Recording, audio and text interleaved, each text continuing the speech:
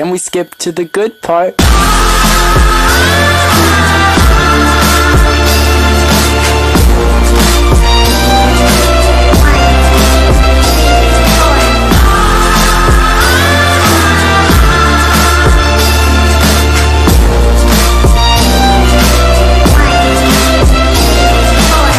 If there's a good part, then I hope it's not far. Cause I thought it'd be today.